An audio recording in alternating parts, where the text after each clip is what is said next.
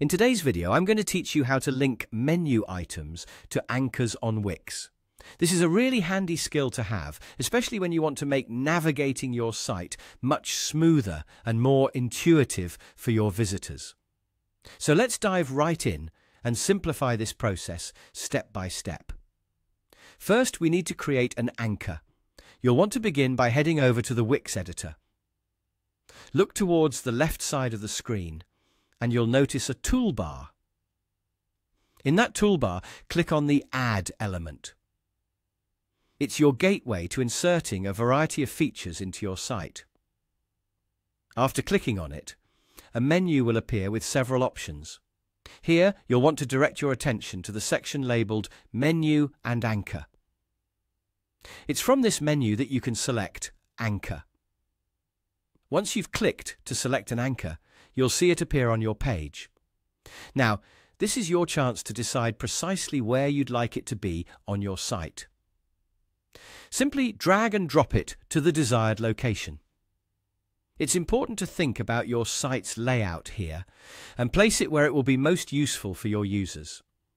After positioning your anchor, it's time to name it.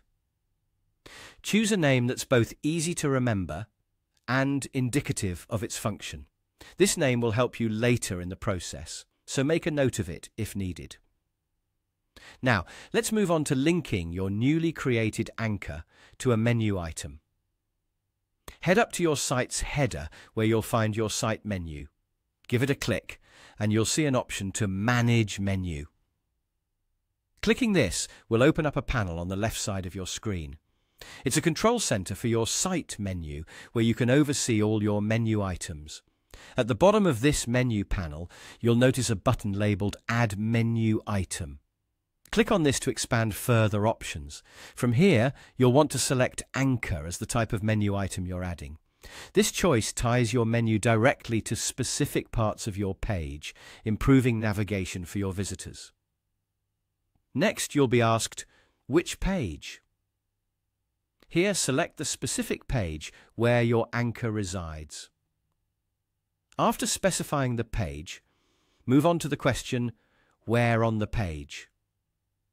This is where your earlier work, naming the anchor, comes into play. Select the anchor you named previously.